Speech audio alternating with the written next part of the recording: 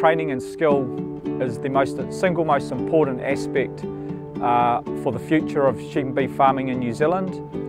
Um, training and education is the only area that influences every other activity and every other area that then contribute to productivity. So what I mean by that is that pasture management, um, farm systems, uh, plants, mat uh, materials, farming processes, etc. They all depend on skilled, intelligent people to, to get the best out of them. So there's no point in a farmer investing in all these other areas if, if him and his people are not up to standard.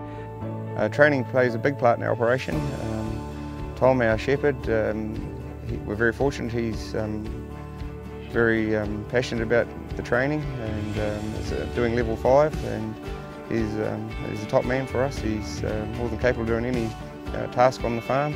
He can relate what he's learned at the training back onto our operation and so it works well for everybody.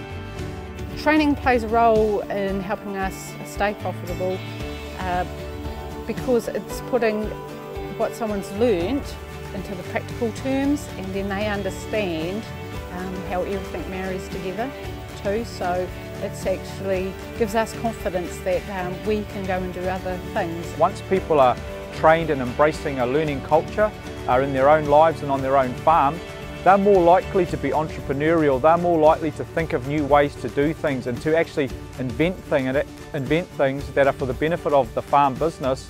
And so what it does is it just evolves momentum and creates a far more productive um, agribusiness.